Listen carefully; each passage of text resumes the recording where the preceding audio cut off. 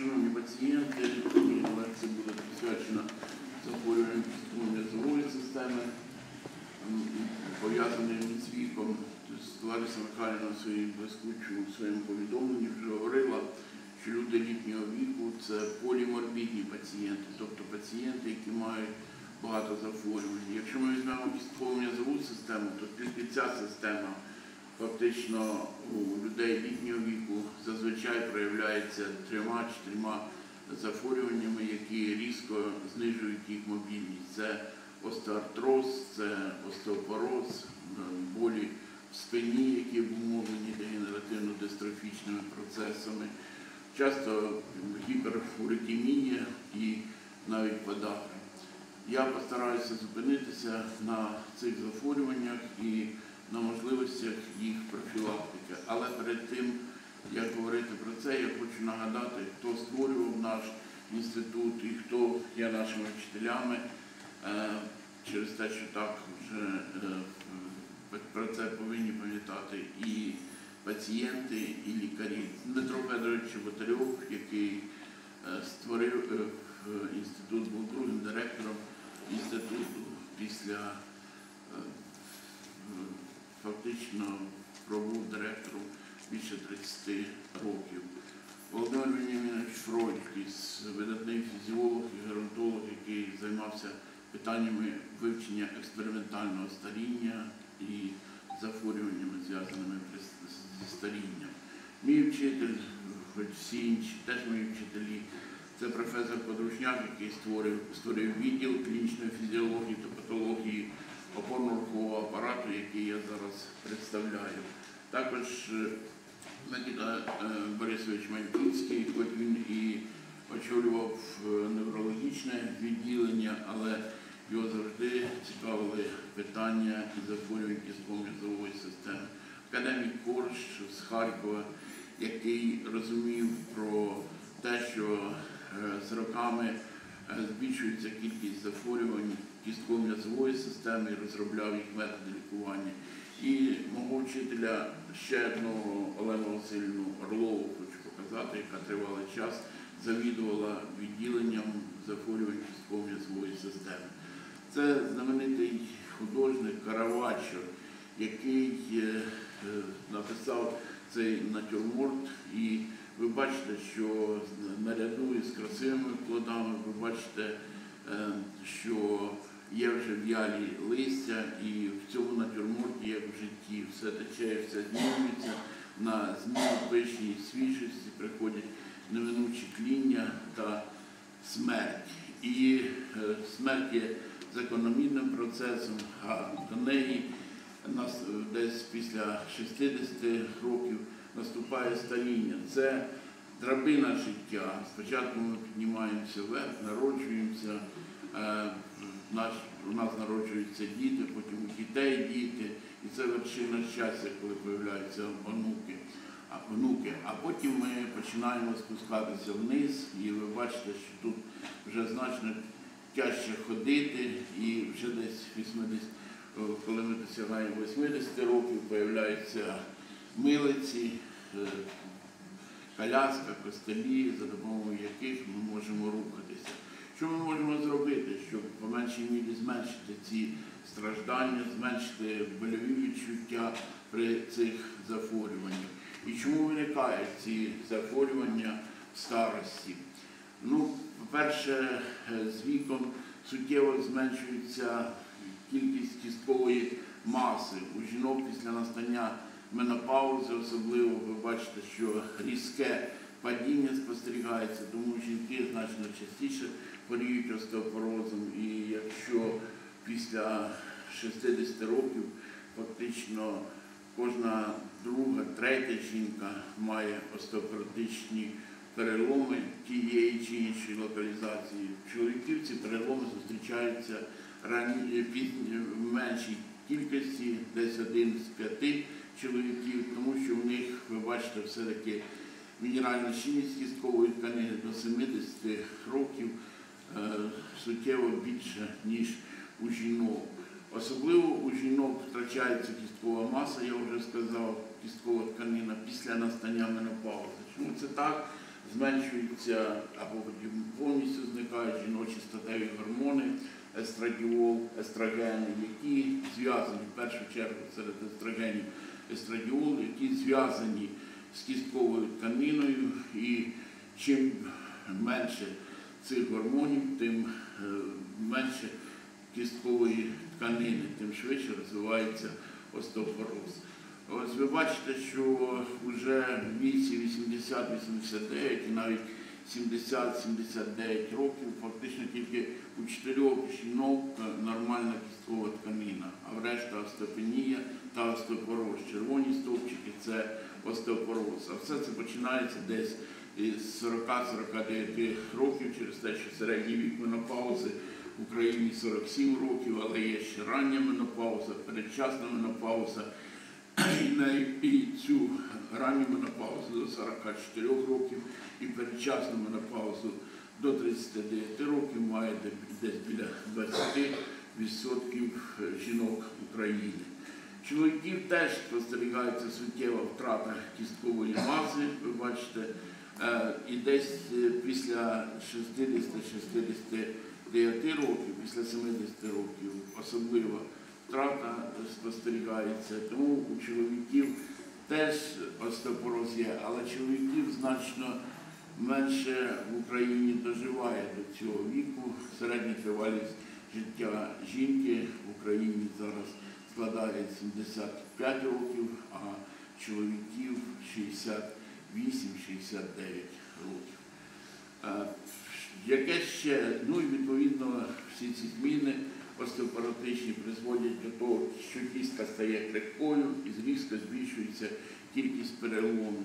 Ці переломи, на жаль, можуть призводити до летальності. Які основні переломи? Це перелом шийки стегнової кістки, це переломи тіл хребців, вони часто не діагностуються, а так як у нас в країні багато спеціалістів, які лікують болі в спині мануальною медициною, мануальною терапією, то якщо появляються ці болі і така пацієнтка попадає до цього спеціаліста, він своїми маніпуляціями е, доводить, що остеопороз вже реалізується у вигляді таких переломів. Якщо у віці 60 і старше, або в жінок, які мають менопаузу, е, появляються болі в, в хребті, то в першу чергу треба визначити, що це за болі, яка міцність кісткової тканини, а потім а для цього треба зробити денситометричне дослідження, і тільки тоді е, можна йти до спеціаліста, який займається мануальною медициною. Але після 60 років з цим треба бути значно обережніше. Хрящова тканина та вік. Е, Втрата хрящової тканини, в першу чергу гіалінового хряща, призводить до розвитку остеартрозів. Це гетерогенна група захворювань суглобів різної локалізації, яка е, схожа за біологічними, морфологічними, клінічними ознаками. Найбільш часто страждають е, е, великі суглоби. Це е, суглоби колінні, плечові, плечові суглоби. І ви бачите, що в загальній захворюваності суглоби остеартрози, вони фактично діагностуються від 5 до 7 відсот- відсотків е, всіх хворих. Суглоби супроводжуються остеартрози виразними больовими синдромами, але в більшій мірі вони суттєво обменшують мобільність. Що цікаво, що є симптоматичний остеартроз, тобто- тобто той, який проявляється больовими відчуттями, а є рентгенологічний остеартроз. Ви бачите, як з віком збільшується кількість хворих з рентгенологічним остеартрозом. Вони можуть і не знати, що в них є остеартроз, а при навантаженні е, через мірному на е, будуть е, буде це супроводжуватись різко вираженим больовим синдромом. Ну і симптоматичний остеартроз теж суттєво збільшується з віком, десь після 70 років. Які основні фактори ризику? Тобто, що приводить до виникнення остеартрозу? Це сталь, жінки все-таки частіше, особливо з колінних суглобів і міжфалангових суглобів. Вік, ви бачите, що вік виступає одним із основних чинників. І надлишкова маса, тобто люди, які мають ожиріння, навантаження на суглоби нижньої кінцівки, особливо, е, особливо велике, і це призводить до розвитку остеоартрозу.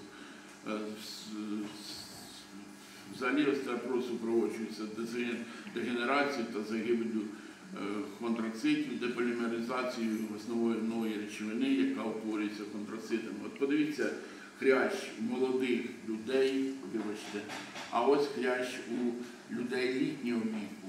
І це ви бачите хрящ, який спостерігається при травматичному остеоартрозі, наприклад, футболістів, у людей, які е, мають перевантаження суглобів.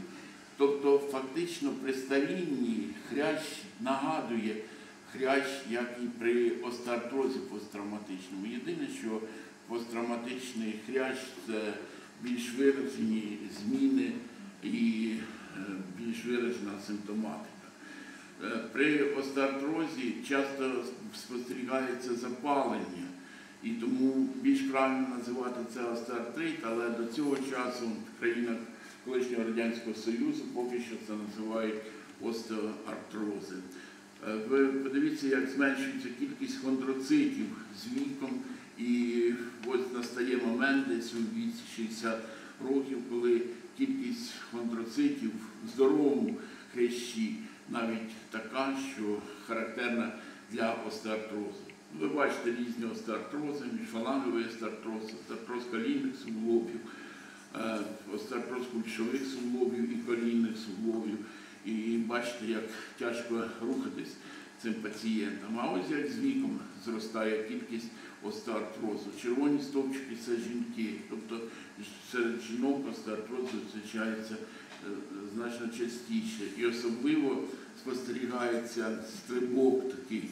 Є така функція експоненціальна, тобто різко вверх піднімається частота остеоартрозу колінних суглобів після 50 років, після настання менопаузи. Тобто жінка, яка вже знаходиться в менопаузі, в неї високий ризик мати остеопороз, остеопоротичні переломи е, і мати остеоартроз, особливо якщо жінка має надмірну масу е, тіла.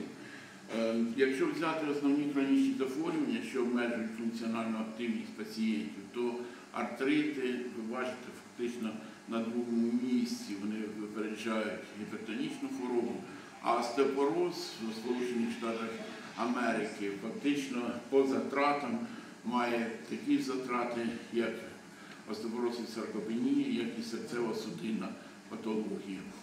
Типова локалізація остеоартрозу – це мілкі суглоби, су- міжфалангові суглоби, е, кистей і е, стоп, і також суглоби е, колінні, суглоби кульшові. В Франції і суглоби, які є в хребті, вони теж оцінюються як остеоартрит, у нас це не так. Е, Які больові синдроми характерні для остеоартрозу колінних суглобів? Це механічний біль, як тільки ви піднімаєтесь. Часто пацієнти літнього віку говорять, що в горизонтальному положенні, коли вони лежать, коли немає навантаження на суглоби, болю немає. І як тільки вони переходять в вертикальне положення, появляється виражений больовий синдром. Якщо є стартовий біль, це свідчить про наявність реактивного синовіїту. Е, Часто бувають нічні болі, які обумовлені погіршенням венозного відтоку. Гіперурикемія і подагра. Подагра це хронічне прогресуюче захворювання, пов'язане з порушенням курейного обміну, яке характеризується підвищенням рівня сечової кислоти в крові, гіперурикемією і відкладенням в тканинах опорно-рухового апарату та внутрішніх органів натрієвої солі сечової кислоти.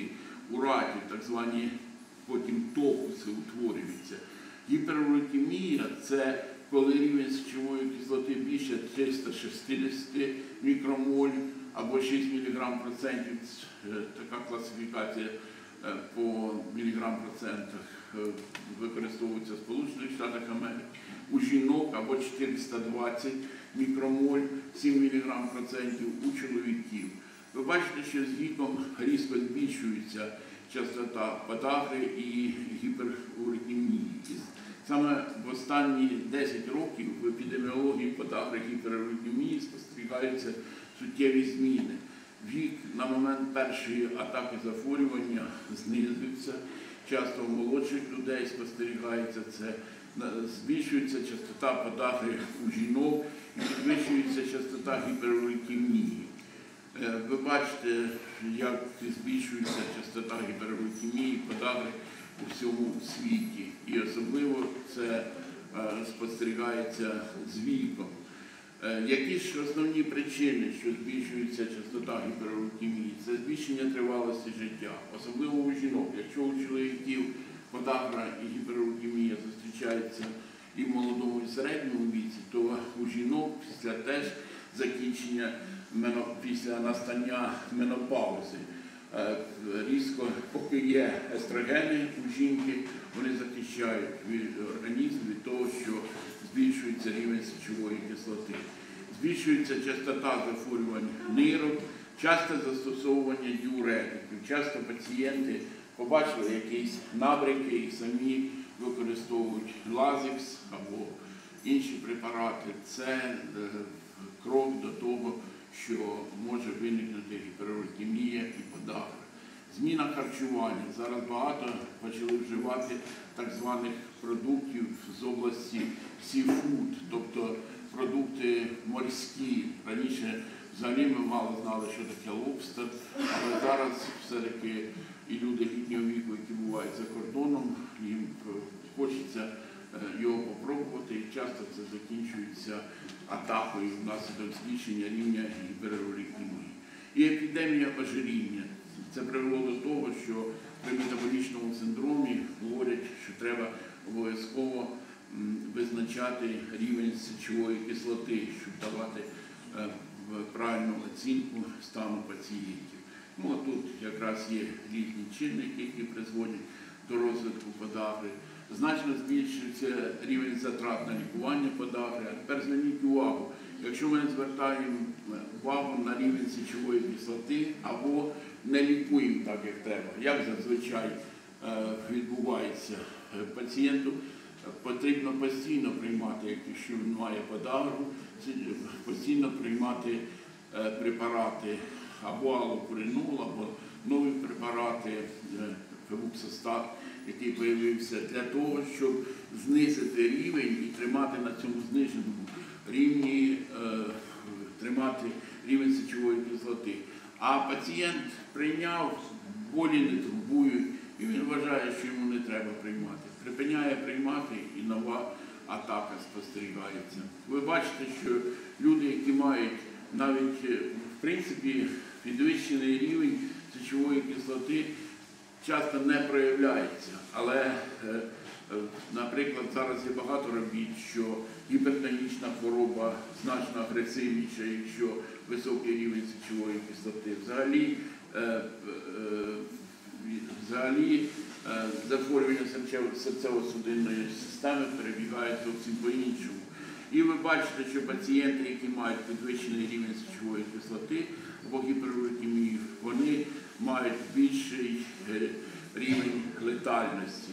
Чим же буде е, чим е, характеризується так званий гіперурикемічний каскад, який спостерігається у людей, в яких збільшується рівень сечової кислоти.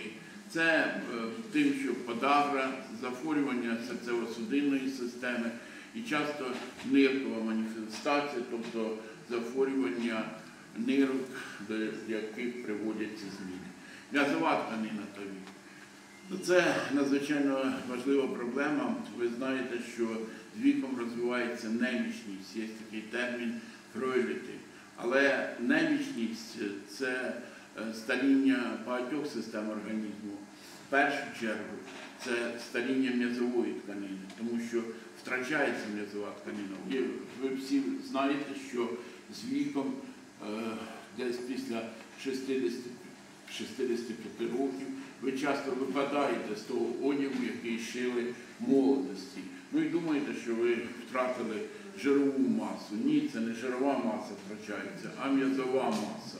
І це називається саркопенія. Втрачається кількість м'язової тканини з віком. От, е, це наші дослідження, які рівень м'язової тканини ми можемо визначати за допомогою денситометрії. І з'явився новий термін саркопенія. Синдром, який характеризується прогресивним та генералізованим зниженням скелетної і м'язової маси. І е, це призводить до ризику розвитку таких ускладнень, як порушення мобільності, зниження якості життя і до виникнення смерті. В Україні після 65 років, по нашим даним, 21%. Фактично кожна жінка має саркопенію. Як же попереджувати і лікувати всі ті захворювання, основні, які говорити? Якщо взяти про схему, е, єдину схему е, стандарт, то е, повинна бути базисна терапія. Базисною терапією для кістково-м'язових захворювань є обов'язкове е, вживання кальцію і вживання вітаміну Д. Лікування основного захворювання, антиостеопоротична терапія, це якщо вже є виражені зміни, виражений е, остеопороз, терапія остеоартрозу, лікування саркопенії, лікування гіперглікемії, профі- профілактика і лікування ускладнень. Виявилося, що наші жінки в постменопаузальному періоді вживають в середньому 450 мг кальцію, а повинні вживати 1500. Це якщо вони не використовують е, естрогени. Але естрогени зараз значно менше почали використовувати жінки в вигляді замісної гормональної терапії після певних досліджень, які показали, що не все так добре при їх прийомі. І е, тому е, саме е, жінки повинні більше вживати кальцію і вітаміну Д. Ви бачите, що всього це вживається 450 мг. А якщо не буде достатньої кількості кальцію, то відповідно буде збільшуватись кількість переломів, е, суттєво збільшується ризик переломів кілкрепців, переломів шийки стегнової кістки і переломів кісток передпліччя. Це е, мені були подарували пацієнти дисертацію ще 1870 року, е, яка стосується тварин. До питання про остеопороз е, як захворювання у тварин, у коней. І виявляється, що вже тоді говорили про те, що дієтичний спосіб лікування остеопорозу самий надійний, і що треба використовувати е, це якраз є кальцій, використовувати кальцій для лікування цього захворювання.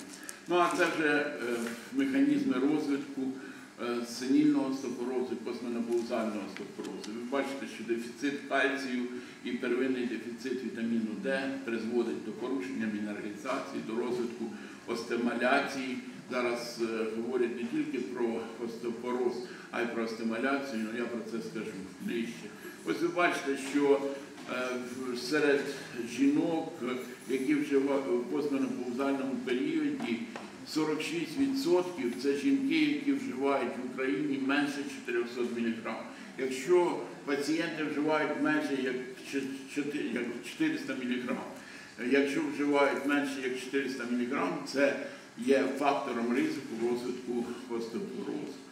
Е, Відповідно, що якщо ви будете вживати достатню кількість, наприклад, е, кальцію, вітаміну Д, то це буде суттєво е, зменшувати ризик переломів. Правда, в 2009 році з'явилися публікації, що кальцій як кілер може призводити до летальності е, від серцево-судинної патології. Ну, буває таке в медицині. Хтось сказав, це підхватили е, газети, журнали.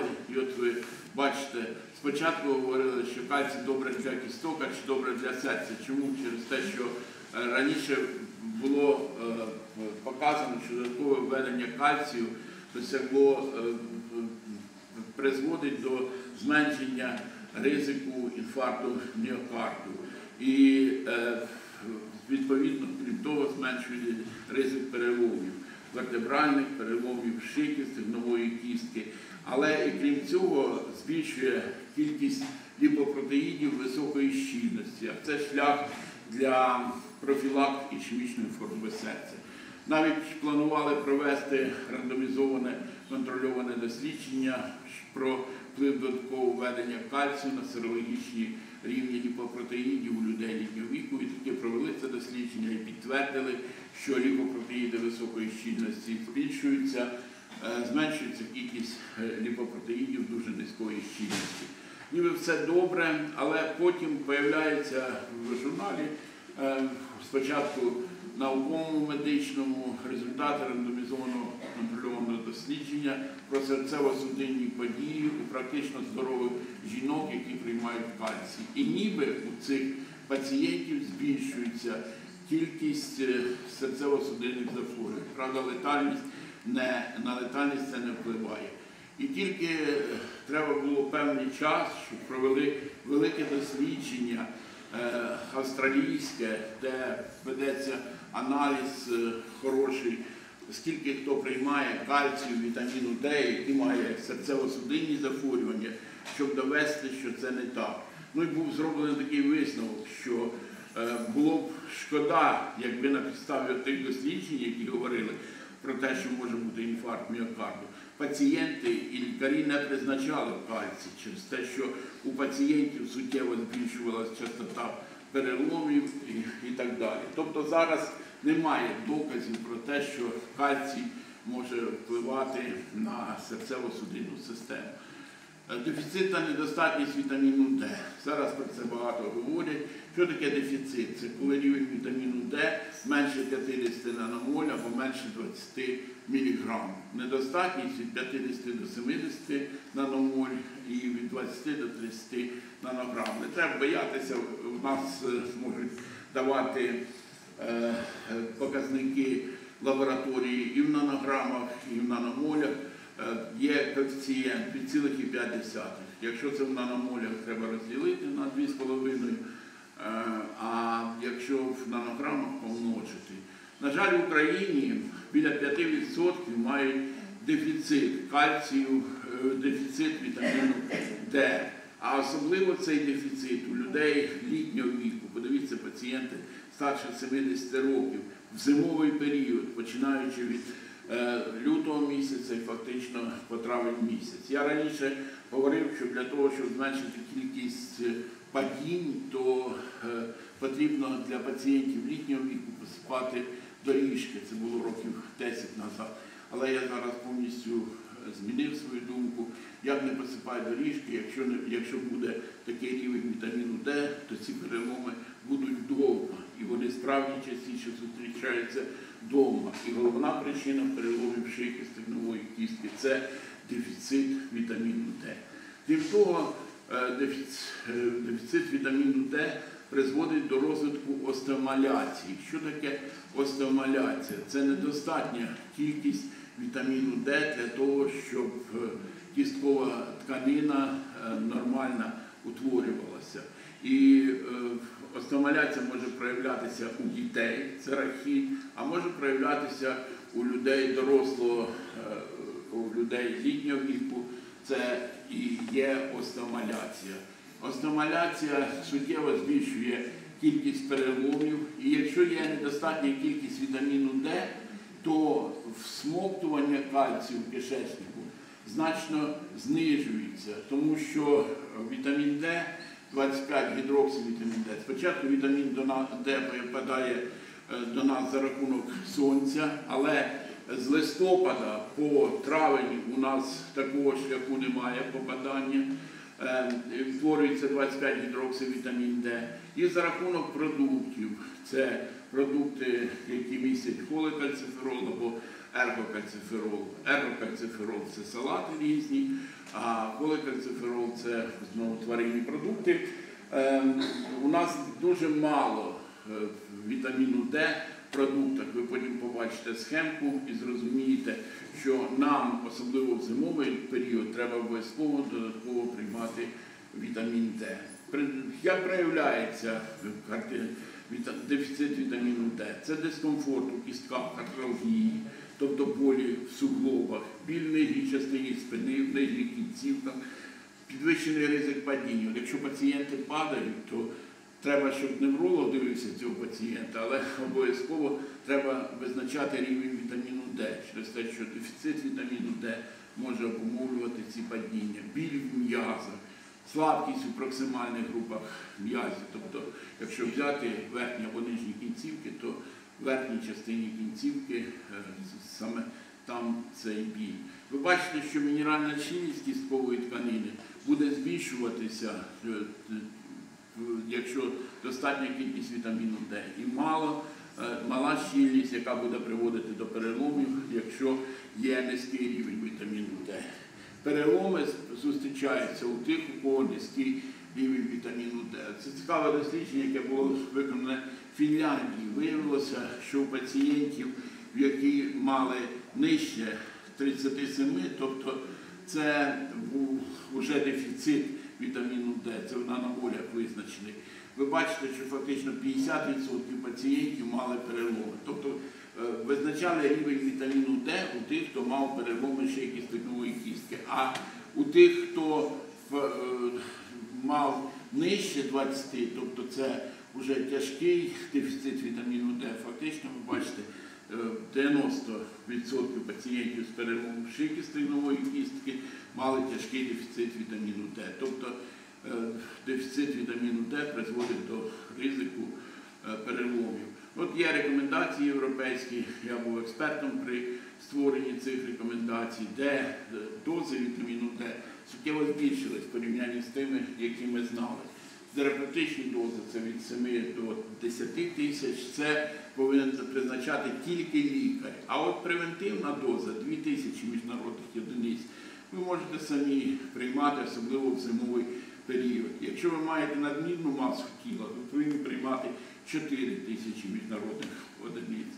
Через те, що у пацієнтів з надмірною масою тіла е, жирова тканина буде абсорбувати вітамін Д, ну не вітамін Д, а 25 гідроксивітамін Д, і активного вітаміну Д в організмі буде мало. Як е, треба стежити за рівнем вітаміну Д? Контроль рівня сировиці крові через кожні 3-4 місяці після розпочатої терапії. Ну, якщо ви перший раз починаєте приймати, то вже через місяць-півтора місяці треба робити контроль. Контроль різних показників ще додаткових. От подивіться продукти харчування, е, які багаті вітаміном Д. Оселедець атлантичний, печінка тріски, лосось, притому лосось не той, що е, той, який дикий, так званий, який справді е, знаходиться в морській воді, нототення, шпроти, ікра сетрова зерниста, окунь морський, ну а молоко, яйце серед того, що ми їмо, це жовток яйця. Але для того, щоб вийти на норму, треба вживати десь біля 20 яєць в день, що є нереальним. Вітамін Д є класичний вплив, це е, в першу чергу на кальцій, на кальцієвий гомеостаз. І є вплив на автоімунну систему, тому е, є зв'язок з серцево-судинною патологією зараз, е, є зв'язок із захворюваннями кишечника, товстого кишечника в першу чергу, з онкологічною патологією. От ви бачите слайд е, Холіка, це найвідоміший спеціаліст, наскільки дефіцит вітаміну Д зв'язаний із різними захворюваннями, з ендокринними захворюваннями, в першу чергу з цукровим діабетом. Е, Ну от продукти, які багаті вітаміном е, Д, є такі гриби шитаки, от вони теж багаті вітаміном Д. Але у нас я вже говорив, що є різні, є капсули, є масляний розчин, є навіть ампули в Україні, немає в ампулах, таблетки, е, комбіновані препарати, препарати з кальцієм, жувальні таблетки. Е, ну, от, е, У нас на ринку часто раніше зустрічалися препарати компанії Польфарма, це Аквадетрин був препарат, який у дітей в каплях він і є, використовується. У людей літнього віку є такий препарат Оледетрин. У клініці проводили дослідження, він е, дає хороші результати. Глюкозамінний хондроїтин це те, що потрібно для того, щоб попереджувати е, прогресування остеоартрозу. І в Сполучених Штатах і в Америці зараз е, майже не використовують ці препарати. В Європі вони використовуються і вони є ефективними. Що цікаво, що є вводять в суглоби, наприклад, гіалуронову кислоту, то ефект від прийому препаратів, таких як глюкозамінний хондроїтин, фактично такий же від, але при введенні в суглоби, особливо великі, можуть бути різні побічні ефекти. Глюкозамінний хондроїтин надзвичайно безпечні. Вони фактично не шкодять організму, тому вони залишаються популярними. Чому вони безпечні? Через, через те, що е, вони є в організмі. Глюкозамін перетворюється е, і в, е, потім і в хондроїтин, хондроїтин 4,6, гіалуронова кислота і так далі. Все те, що потрібно. Ну, от наші дані.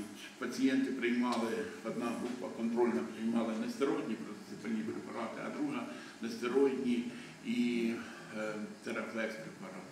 Е, через 6 місяців суттєво зменшилась кількість е, нестероїдних препаратів, які приймали пацієнти в цій групі. Е, Подагра лікування. Раніше є так звана стара терапія. Це нестероїдні протизапальні препарати, глюкокортикоїди, колхіцин.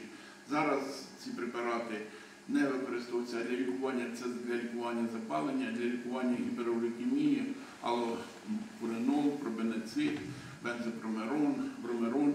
Е, Зараз фактично аллопуренол використовується все менше через те, що має побічні ефекти.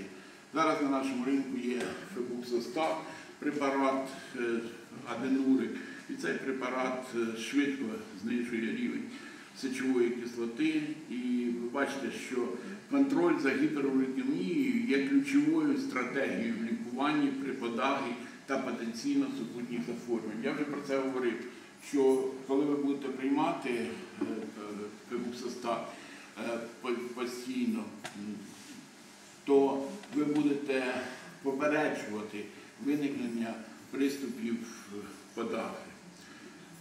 Флуксостат, е, препарат е, досліджувався в різних країнах, а це цікава прозірка. Зверніть увагу, що чим більше рівень сечової кислоти, тим більша кількість приступів у пацієнтів.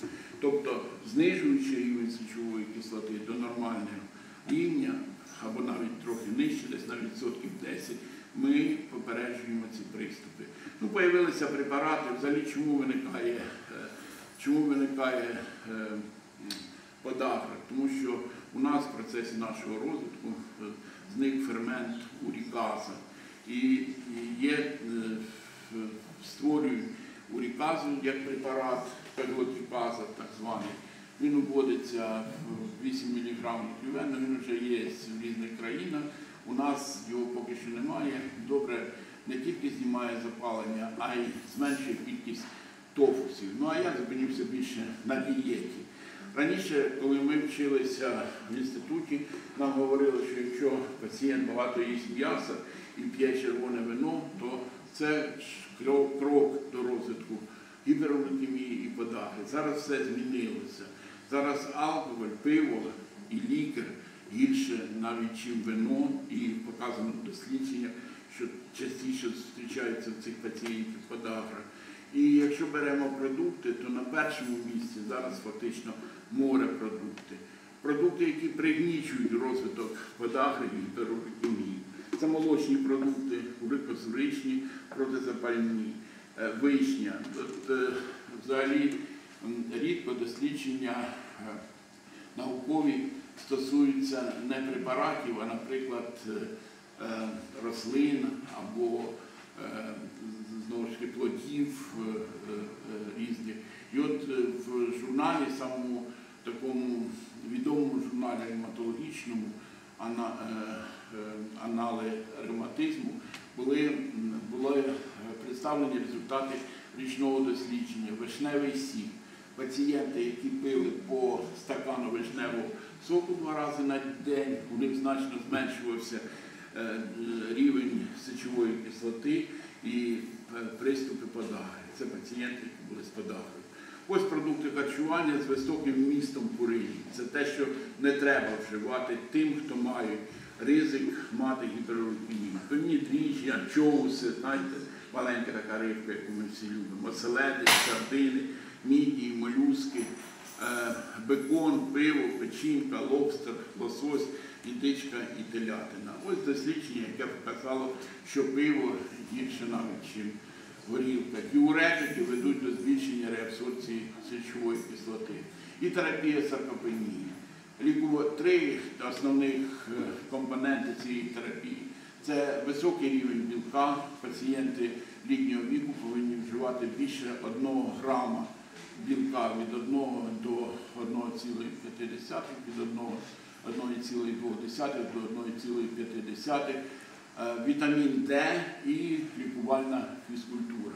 Корекція харчування, лікувальна фізкультура і фармакотерапія. Ви бачите, оптимальна кількість білка у людей літнього віку від 1,2 до 1,5 е, грам на кілограм в день. Хочу зауважити, що для людей літнього віку зараз розробляються такі спеціальні дієтичні продукти, куди входить велика кількість білка, достатня кількість і вітамін Д. Е, Ну і комплекси лікувальної фізкультури. У нас ми широко використовуємо ці комплекси.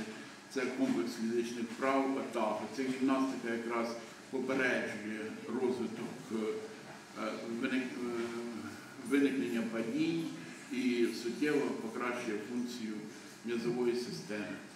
Хочу закінчити своє повідомлення словами геніального Дмитра Федоровича Щеботарьова.